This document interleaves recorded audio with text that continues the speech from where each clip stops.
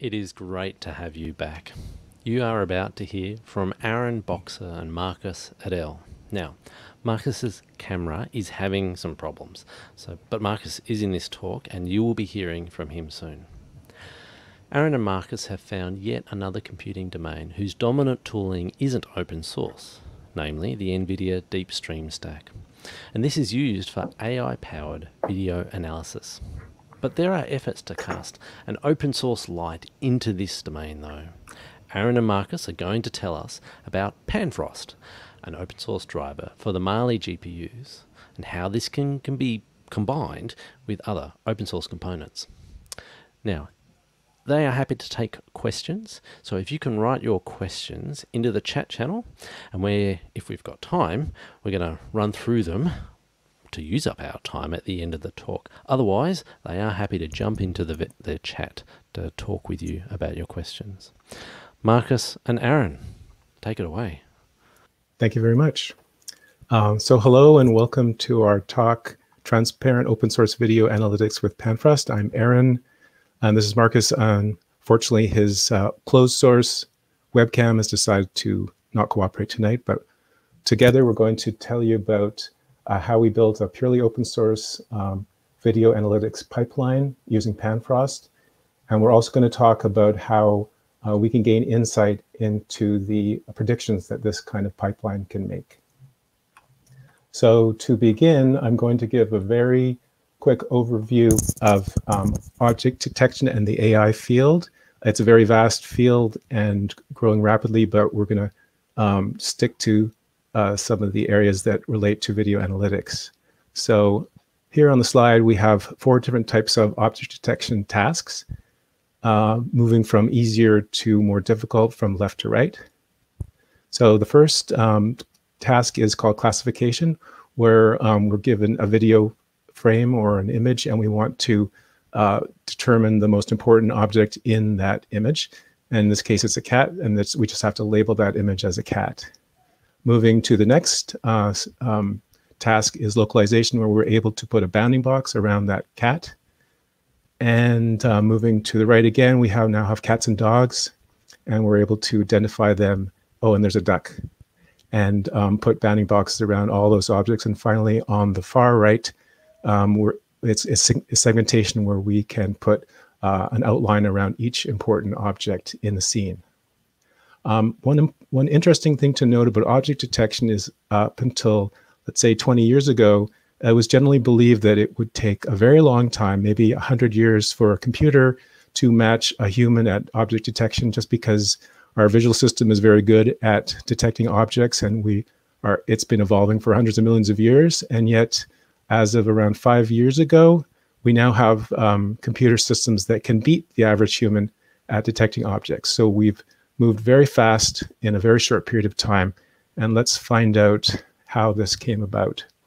Um, the current approach to AI is based on a philosophy called connectionism, um, and that uses the mammalian nervous system uh, as a model for building an intelligent system.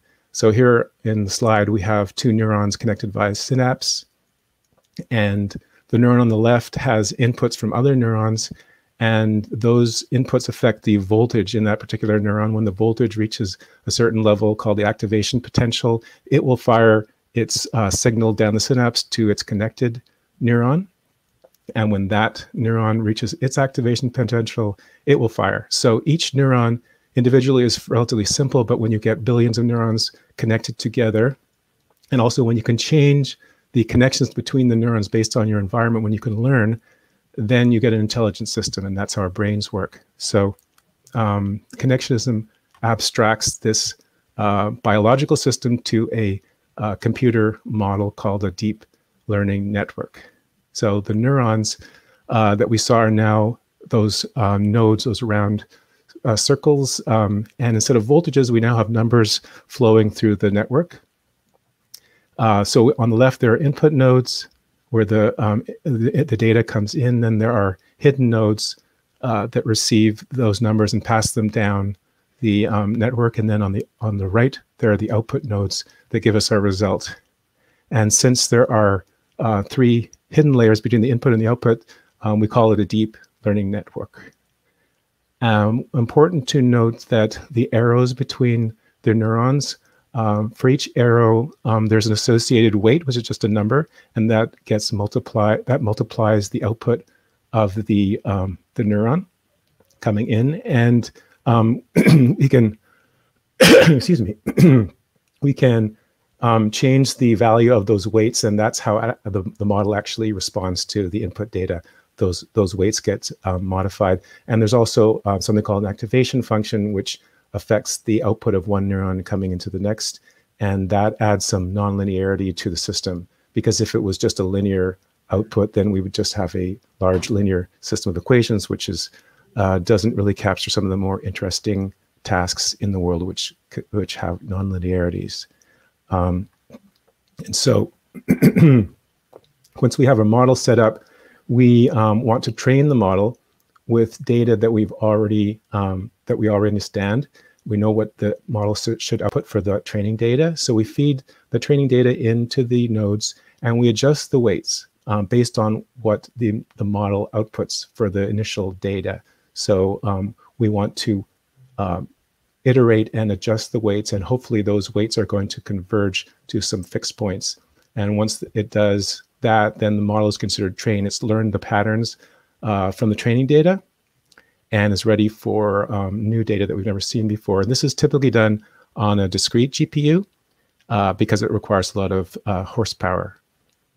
Once the model is trained, uh, we're ready for inference, and that's when we, we receive data that we've never seen before and um, if the model has been trained well enough, then the outputs for the new data should match the patterns that it's learned from the training data.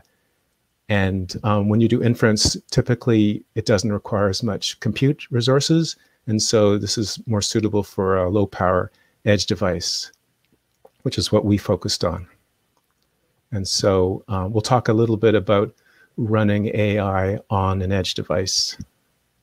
So typically, an edge device is um, low power, low memory, low compute. And so uh, when you're trying to run machine learning on these devices, it's very important to be as efficient as possible. And so we have to do a couple of things to the network that we've designed to make it uh, efficient. And those tasks are called pruning and quantization. So if we go back to our deep learning network, and we see all the uh, arrows connecting the nodes, um, we can actually remove some of those arrows and prune the network and maintain the accuracy at the same time. So whenever we remove an error, we're reducing our computational load. Uh, the second thing we can do is called quantization, where we take the weights that are um, that are associated with each arrow, and um, if it's stored as a 32-bit number, we can actually store it, let's say, a 16 or 8-bit, and that reduces our memory requirements.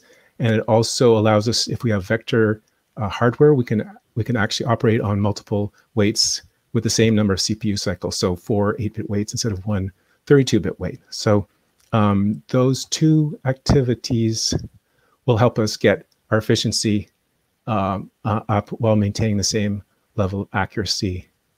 Um, now we can talk about the hardware that's available for this type of, uh, working on the edge. Um, it's not it's kind of limited at the moment. Uh, a popular solution is the NVIDIA Tegra uh, that you see over, um, pictured over here.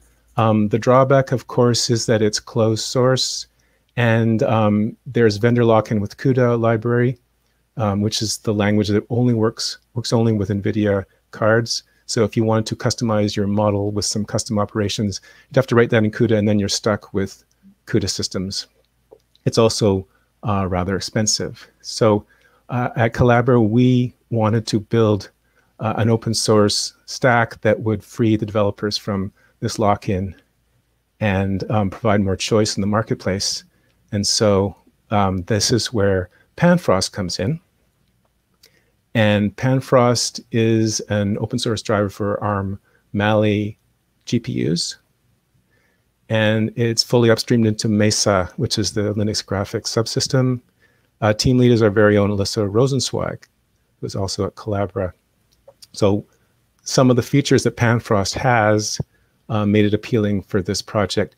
Uh, particularly, it's recently supported GLES 3.2. GLES is the embedded version of the OpenGL graphics language. And GLES 3.2 uh, supports compute shaders, which are small programs that you can um, schedule from user space and schedule to run on the GPU itself. So um, here's a pathway for running our compute intensive um, neural network on the Mali GPU.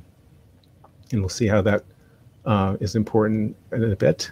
Uh, in terms of the hardware, we chose the RockPi 4, um, which is a very nice system. It's got four core CPU, four core Mali GPU, and four gigabytes of uh, DDR RAM. And um, these systems unfortunately run a little hot. So uh, here's Marcus's cooling system, cooling solution. Um, the, the chip is buried somewhere underneath that huge fan, um, but don't try this at home. Um, the alternative is just to use a large heatsink instead of the fan. Um, so, so Panfrost is in place. We have the hardware. The next uh, level up the stack is a toolkit to manage the neural network, manage the training, and manage uh, storage and of the actual model. So we uh, chose TensorFlow Lite to manage that level for a couple of reasons. TensorFlow Lite is uh, based on Google's TensorFlow library, and it's designed for edge devices like mobile IoT. And they focus on Android and iOS, but uh, we were able to tweak it a little bit and we could get it to work with Panfrost. Uh, one notable feature for TensorFlow Lite is they have uh, delegates, which are ways of offloading the compute. Uh, typically, TensorFlow Lite will run on the CPU or the DSP of your device, but uh, with the delegate, you can offload compute into the GPU or onto a second DSP. And fortunately for us, there is a GLES 3.2 delegate. And so uh, now we have a pathway from TensorFlow Lite to schedule all that compute on the GPU, and that saves power and gives us better performance. So we have the driver and we have the neural network uh, layer. Uh, the next layer in the stack is the multimedia framework to actually handle the video. And to do that, we chose to use GStreamer. GStreamer is everyone's favorite open source multimedia framework. It's uh, graph based, so uh, you can create very complex bespoke um, um, pipelines for video and audio. Uh, it supports a lot of hardware, a lot of hardware and software codecs. Uh, currently, it does has no support for neural nets, so we want to fill this gap. Um, to do that, we had to um, get a grip on the different, the many different neural network toolkits that are available: TensorFlow, PyTorch, MLPack, uh, we didn't want to have to manage that complexity, but fortunately, there is something called ONNX, which is Open Neural Network Exchange, which sits on top of your favorite uh, neural network library and provides a common format and set of operators. So you can train your system on TensorFlow, for example, and then you can do inference on a different uh, library, and it all uh, works using ONNX. So we decided to write our element based on ONNX rather than a particular toolkit. And so here's our design for our GST neural net class in GStreamer. It's based on the video filter class. Uh, it's it's a fairly simple uh, design that the filter class will just take a video buffer, do something, do some computation, and then either change the actual video frame or attach some metadata to the frame. So um, in our case, our GST neural net will uh, receive a video buffer it will pass it through ONNX uh, after it um, downsamples the, the buffer, um, and the our the AI model will then make its prediction, which gets passed back to our element, and then the neural net will attach a custom meta object for metadata uh, with the label and the overlay, and then passes that to our optional overlay component, which converts that into a composition meta, which in GStreamer the GStreamer world is a very efficient way of creating an overlay that could then be composited if you want to display the video. So um, that's that's our design for the GStreamer level. So now we have the hardware, the driver, the toolkit, TensorFlow Lite, and the video, the multimedia framework uh, using GStreamer. And here's a little demo to show you our results. And uh, as you can see, this is pre-COVID, no social distancing, um, was wandering freely about the streets. Uh, but you can see that the uh, accuracy is quite good. This is running on the Rock Pi. Um, it has some issues with baby carriages, which it thinks it's motorcycles. So um, we might wonder why it's making that prediction. And um, that's actually the second half of the talk, which Marcus will talk about explainability, how we can explain how uh, the system made that prediction. And here's a summary of our results. We used uh, a model called Optimize YOLO, and you can see that um, accuracy is 83%, and it's running quite nicely on the GPU. So we were very, very happy with the, that result that we got. And so um, next, we're going to actually talk about, uh, for example, why that baby carriage, how to get insight into why a baby carriage would look like a motorcycle to a neural net, and that is explainability. And Marcus is going to tell you about that. Take it away, yeah. Marcus. Thanks, Aaron. Uh, that's right. So the second part of the talk is going to be about explainability for machine learning models. And to be clear from the very beginning, we are not going to go into much details about specific deep learning techniques. Um, I think a lot of academic works in this area touches on the specifics. Um, we are much more concerned about the, the data regarding human behavior. Is, is someone going to pay their bill? Is someone to default back on their loan? Is, is someone, you know, turn from one phone company to another phone company? Um, does the um, face recognition implementation identify the right group of people or is, yeah, is the object detection model picking up the, the right features? Um, those kinds of problems. And yeah, there's a lot of good things going on when it comes to explainability, but there's also a lot of bad and ugly things going on uh, when it comes to explain a certain type of predictive model. So um, I'm going to start from a very broad, um, non-technical perspective and slowly move into details. And yeah, if, if you have any kind of clarification question as as we're going along, just put it in the chat, and, and we're trying to to clear it up. Okay, so um, yeah, what what is machine learning explainability? So assuming you know what uh, machine learning is, you know machine learning is this um, subdiscipline of AI that that learns these um, very complex functions from from data um, that's typically trying to predict or classify or even discriminate between different types of um, phenomena, right?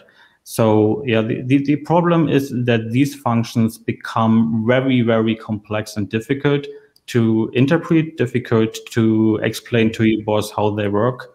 And when I say difficult, I mean borderline impossible. And yeah, so they they become difficult to explain to coworkers how they work, difficult to your customers how they work. So they tend to be very, very accurate predictors, but very difficult to explain. And yeah, there are a lot of the uh, definitions um, what machine learning explainability is. Um, the the one here shown is one of the the symbols and also one of my my favorite quotes about um, machine learning explainability. So yeah, we, we, we are looking for for a way to present or explain to a human being what um, complex mathematical function that's been trained um, from from data is doing and if you have not read um, towards the rigorous science of interpreting machine learning, um, I mean, it's it's not even a long, long paper.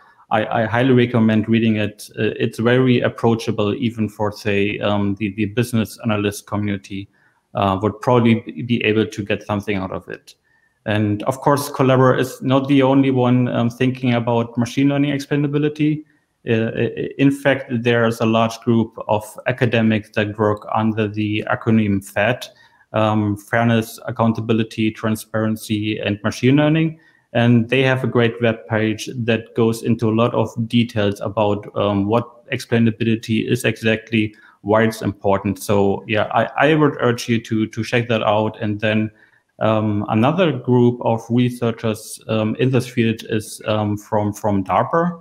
So yeah, it's the, the military military basically, And yeah, I, I, guess you can imagine why the military is uh, especially interested in machine learning explainability. And um, yeah, they, they call their program XAI or Explainable AI. And yeah, they have a nice website as well that talks about some of their unclassified um, goals as well. Um, next slide, please.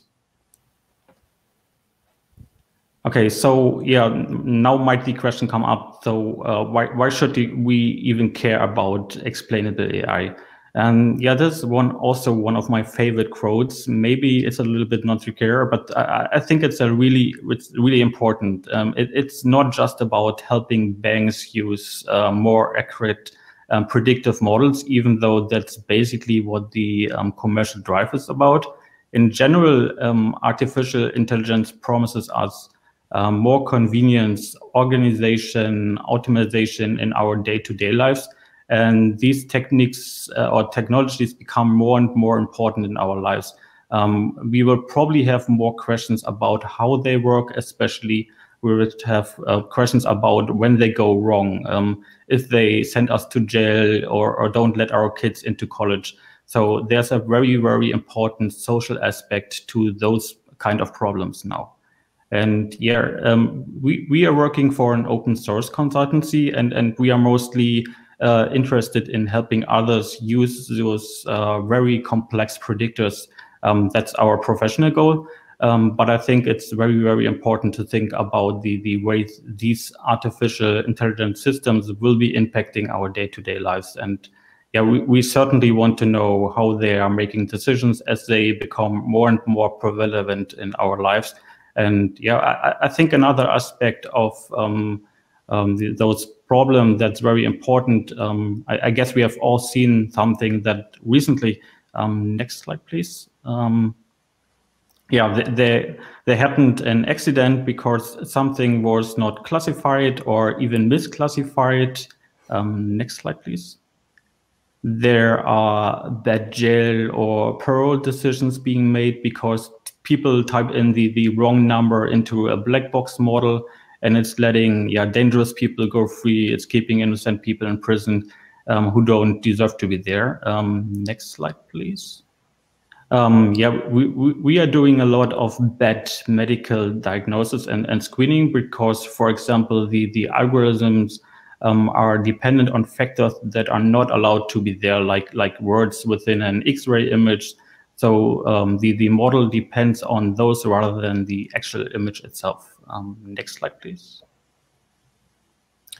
Um, yeah, another example, we are, we are making bad loans and, and credit decisions based on um, faulty informations. Um, so yeah, it, it, once again, it, it, will be very important to be uh, so that we are able to debug those systems to understand if um, somehow someone tampered with it, um, uh, but it's very, very difficult to do that without um, having deep insight into the internal mechanisms of this system itself.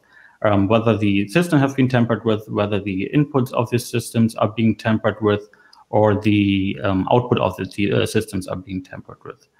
So yeah, I, I, think there's both very important social and um, commercial motivations for those kinds of problems. Um, next slide, please. So yeah, so why why haven't we be doing explainable AI right from from the start? Um, next slide, please. Well, it's it's simple because it's it's difficult, right? Um, I'm I'm going to talk about um, three reasons why I feel it's difficult. Um, that I've run into my undertakings into the direction, but you may run into other problems um, because I, I think it's a fairly fraught and, and difficult problem to solve. So yeah, um, yeah. So so machine learning algorithms create um, functions that are interestingly combine and recombine variables until they are interest uh, interacting in a very very sophisticated ways. So one goal of machine learning explainability is to disaggregate a predictions to form something that is called a reason codes. So um, one example is you, if you've ever been turned down for, for a credit card, or even looked at your credit report, the, the credit rating agency or the credit lender, they have to give you, I think in the US, it's uh, five reasons why they turned you down. And those are called um, reason codes. And yeah, those are related to your input variables that went into their credit scoring model. That's basically a black box um, that decided you wouldn't probably uh, pay your bills. So if you ever turn down for, for a credit card, you might see something like um, your length of credit isn't long enough, your, your savings account balance isn't high enough, um, things like this. But it doesn't say the, the sophisticated interactions between um, your, your savings account um, your, your length of credit history, um, your, your debt to income ratio, and five other variables um, why, why they, they turned you down. So we have to break it down into simple terms, and those are called um, reason codes. And um, yeah, that that's sort of fundamentally the, the odds why the, uh, the the way machine learning algorithms work. Um, machine learning algorithms, interestingly, consider high degree interactions between input variables. And so disaggregating a predictions into a single feature contribution is a difficult thing to do. And yeah, often even questionable. So yeah, one, one thing to remember is that a lot of these approaches that we will talk about are approximate. Um, some are very approximate. Um, next slide, please. Um, yeah, okay. another reason why I find machine learning algorithms explainability to be difficult is uh, illustrated here. It's a little bit advanced, but um, I will see. We, I, I, think we will get it. Um, so when I train a good old-fashioned linear model, it's called a convex optimization problem. And what that means is, given my input data and some numeric value, some combinations of those parameters and your input data will lead to the lowest possible error state. And you can see in the, the image on the, the left, um, there's only one possible lowest error state and consequently only one best model. It's not quite good, but it's not far from um, wrong actually. Now, when, when, when I go into the, the machine learning world, I can actually have many good models for the same data set. And this is a well-known um, phenomenon and, and sometimes referred to uh, as the multiplicity of, of good models. So even for, for well good understand, uh, understood data set, there, there, there's many potentially even an infinite number of machine learning models that can give you good predictions. So when I go to, to explain one of those models, it's very crucial to, to remember I'm just explaining one um, we, we happen to be using um, the one model out of many, many good models for this, pro uh, this problem. I'm, I'm just explaining one. So the, the essence here is even if I'm able to explain a certain kind of model, I can't directly transfer that knowledge to, to the next one, um, even if I, I build uh, on a model that I, I really uh, understood well. Um, that's next slide, please. Um, the, the, the third reason um, why I think machine learning explainability is, is difficult is much more um, fundamental. Um, we, we all have seen that the, the field of machine learning is growing rapidly, um, producing a wide variety of, of learning algorithms for, for different applications. Um, and and the, the ultimate value of those algorithms is to a great extent yeah, judged by their success in um, solving real world problems. And therefore, um, algorithm replication and application to, to new tasks are, are, crucial to the progress of the field. Um, however, few machine learning researchers or, or, companies currently publish the, the software um, source code, or maybe even more importantly, the, the data associated with the um, paper or software. And actually, yeah, as uh, Aaron already mentioned, we, we can see that for the whole software stack. Um, currently, the, the landscape of machine learning software and hardware is um, throughoutly dominated by, by NVIDIA and CUDA. Um, yeah, NVIDIA GPUs have become enriched and, and dominant, and, and also it's it's possible to go out and buy an AMD GPU and use OpenCL based or ROCm based um, linear algebra libraries it's yeah, and NVIDIA's excellent CUDA linear algebra, uh, algebra support like um, or cuDNN that yeah have propelled NVIDIA to the the market leadership. But yeah, we, we like to to see that changed in the future by by showing it's possible to build upon a complete open source stack, um, complete um, open source video driver, open source software, and also open um, open data. But yeah, the, the, the lack of openly available algorithm implementation is a major obstacle um, to, to yeah, scientific progress uh, in and beyond our, our community. But yeah, we, we, we believe that open source can play a very important role in removing that obstacle. Um, next slide, please. Yeah, so those are the, the three reasons why um, we think machine learning explainability is difficult. Of course, um, there, there are other issues um, which make machine learning explainability difficult, but yeah, again, those are the, the major issues we identified for, for the talk. So now the question might come up, um, how can we do this? Um, how can we do explainable AI in, in real life?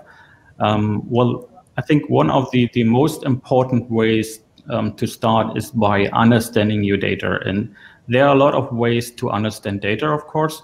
Um, I, I, I, mentioned that in the, the um, reason number three why machine learning explainability is difficult. You can only do that step if the data is um, available or even open source. Um, next slide, please. So one particular way um, is through data visualization. So there's a lot of ways to visually understand data. Um, these are just two of my favorites.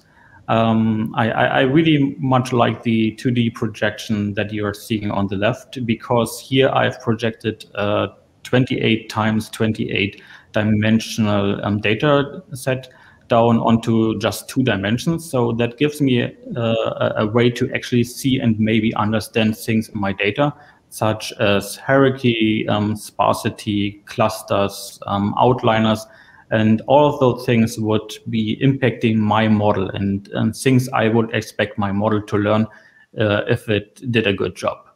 So basically, we start at the um, very beginning and say, I need to get some understanding of my data so I can check that my model understands my data at least as well as I do.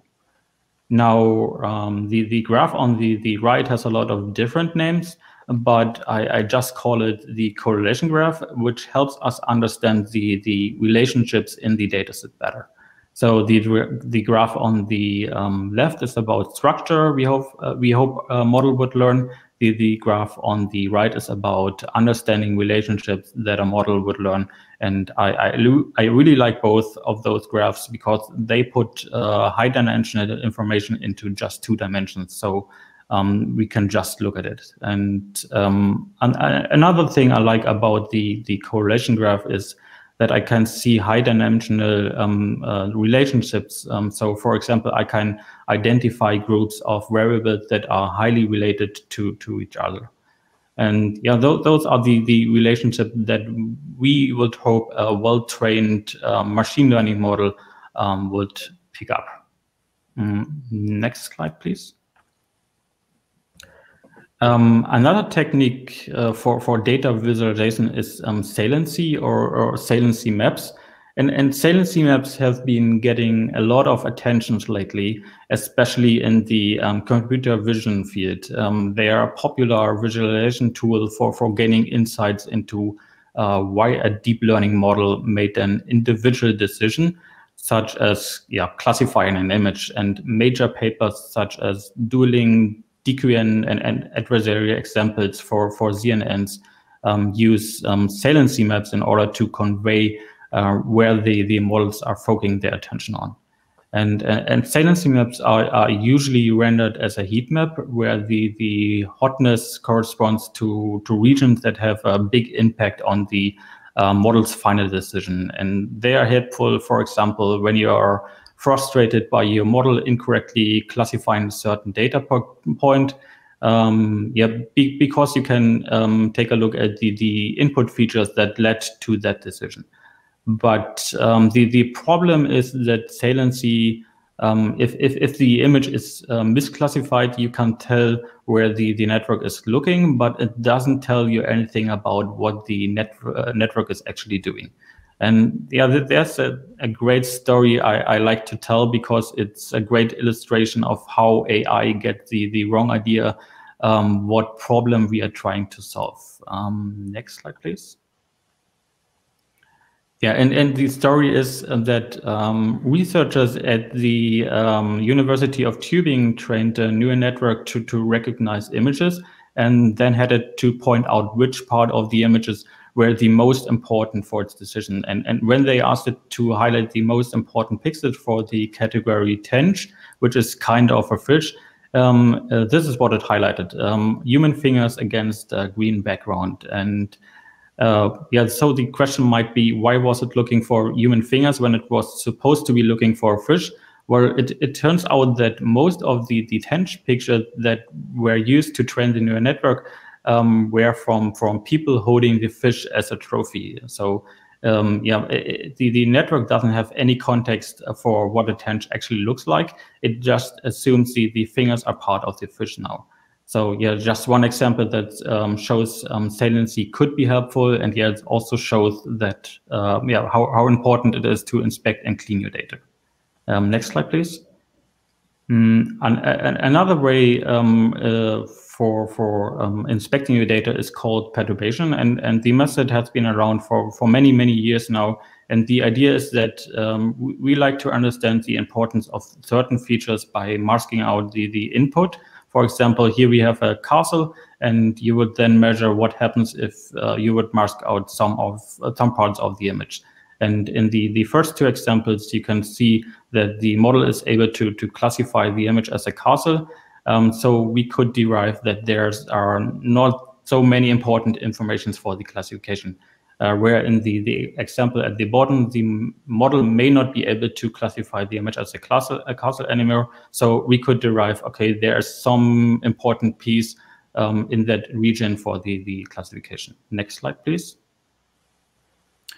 Um, yeah, another way for, uh, for, for explainable AI um, um, could be practiced by, by simply training explainable models. I'm, I'm not going through all the links on the slide, um, but every link on this page is, is open source software that is capable of training accurate and explainable models. So yeah, no excuses, um, a lot of things to try. And, and in broad classes, um, these are decision trees, uh, monotonic gradient boosting machines, um, also rule-based rule models are very powerful.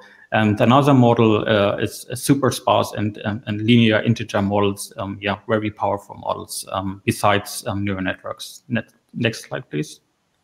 Um, yeah, one, one last method I like to mention uh, is, is called layer-wise relevance propagation. Um, that is pretty similar to the idea I mentioned before, but is uh, specifically designed for, for neural networks, where the idea is to use structure to simplify the explanation problem. So instead of instead of explaining the, the whole model at once, um, you, you split up your model into simpler functions and uh, which are way easier to, to explain and um, use the, the LRP um, divide and conquer idea to, to decompose the, the model and explain the simpler functions and ag aggregate that information uh, in a meaningful way later. Um, next slide, please. Um, so yeah, he, here are my um, recommendations if, if you're doing um, explainable AI in, in real life. So just in general, consider deployment. Um, in, in most cases, your model works really well on your laptop, but um, if you move the, the model from your laptop onto your big secure server or your embedded system, strange things happen. I, have seen a lot of bugs in the internals. The model will get one uh, row wrong to get 10 rows right. So the, the explanation for, for the row that uh, is uh, the model gets wrong is, is, is incredibly useful. Um, also, um, random data attacks. So we just take our system over the weekend and just expose them constantly to, to random data. And, and, and we will find all kinds of interesting things. So I highly recommend that technique as well.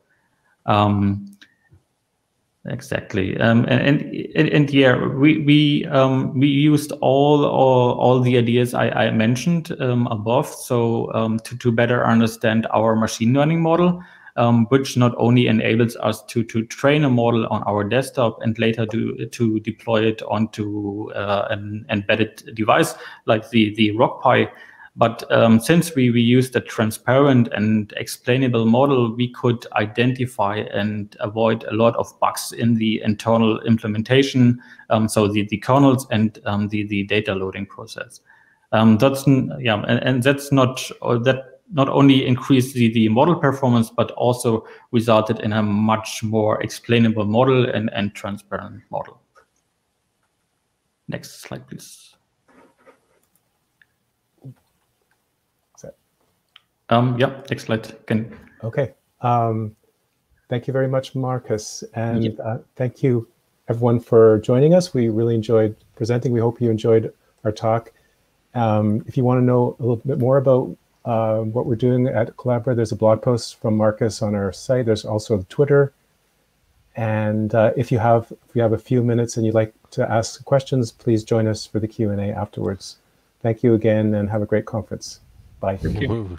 That was great. We do have uh, a few minutes for questions, and we do have uh, at least one question from the audience, and I've got a few uh, more more dummy questions. so let's jump into the first one from the audience. It comes from Will Brown, not the Will Brown who we had as a presenter just before, but uh, Will Brown from the core team. Will's question is: In the late '90s, there was an take in fractal image recognition based largely on Irving Biederman's work. Has fractal image recognition been surpassed or is it still being used in part? Interesting. That, that's, a, that's a good question. Um, I'm, I'm pretty sure it's still used in, in, in some areas, but yeah, nowadays um, it's it's all about um, deep neural networks, right? So um, yeah, they, dominate the, the whole pipeline from from data loading uh, up to to um, yeah the actual model design. Cool. Um, you were talking about explainability, and when I was listening to your talk, I was abstractly wondering who is the target audience for these kind of explanations, and what kind of technical knowledge are you anticipating that they will have? For example, can you explain this to me as if I'm a five year old? Or are you explaining it to a business so they can, you know, leverage or improve? Um, yeah, I mean, personally, I, I think everyone should at least think uh, think about explainability because, yeah, it, it's super important. Um, and if if you have some um, general understanding of uh, uh, linear algebra, um, you you should be ready to go. Um, but yeah, uh, I think everyone should should at least look at least once into explainable AI. Cool. Um, another question that I've got. Um, you showed us some two-dimensional projections, and they looked fantastic. In fact, it blew my mind that you could go from 28 dimensions down to two dimensions. But I wonder, are there like three-dimensional graphs on projections that are useful or practical? Because we're seeing you know, um, virtual reality kind of goggles and, and that kind of stuff. Yeah, yeah, yeah, definitely. Um, there's one method called um, t-SNE that is um, used um, all the time. Um, that's for, for three dimensions. Um, but yeah, uh, in, in, most cases, I'm, I'm just starting with two dimensions because it's easier to, to um, visualize and go over to, to three dimensions. Yeah. Yeah. All right. Um, one of your slides was a bunch of open source projects that I think you said had explainable models. Is it possible to provide that slide and its links to the chat after this talk? Of course. Great. Fantastic. Well, we've only got uh, one more minute to go. Um, I don't think we've got any questions that have been passed through to me. So we might start wrapping it up there. Thank you so much. That was a great talk. I really appreciate it. Pleasure.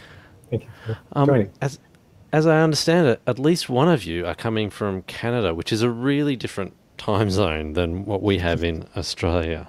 So we we very much appreciate that you've come all that way. Um, for for those of us in Australia, it's now time to have a cuppa, otherwise known as afternoon tea. Um, we are going to be back. Oh, pause one moment. We've got 20 seconds for a quick last question from Jan Schmidt. Have you looked at NN Streamer? Any thoughts? 10 um, seconds. Um, yes, we did look at NNStreamer, um, which is further along in the actual implementation, but um, we had some issues just with the, the quality of the code, uh, and we wanted to actually design something that would um, have input from the upstream for the actual design process, and NNStreamer is already quite far along in that regard. So that's why we decided to uh, design our own rather than reuse that framework. Great. All right. Well, let's wrap it up there. We will be back um, at 3:45 p.m. in Australia Melbourne time zone, which is in about 30 minutes. And when we get back, we've got another AI talk. Charles Martin is going to explain how, how about his efforts to use machine learning to create new musical instruments. See you all then. Thanks. Bye. Bye. Thank you.